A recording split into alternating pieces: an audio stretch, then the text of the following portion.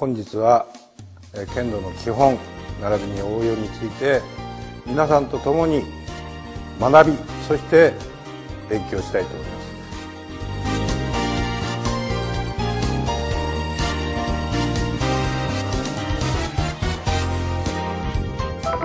平行移動が剣道の大大前提です。両足を揃えて前に進む。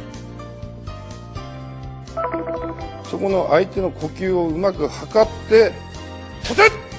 打てる間合いを築いてあげるのが元立ちの役目。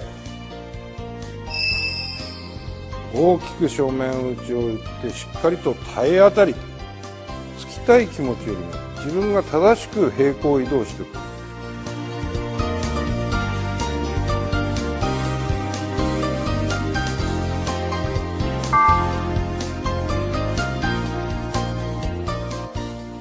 の巻く動作がし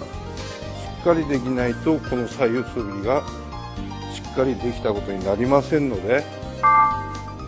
手首の巻きですね。手首と肘の巻き巻きからの技。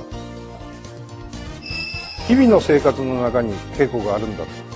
という気持ちで、えー、たとえ10分15分でもいいですから竹刀を振る木刀を振るという気持ちを大切にして稽古を続けていっていただきたいと思います。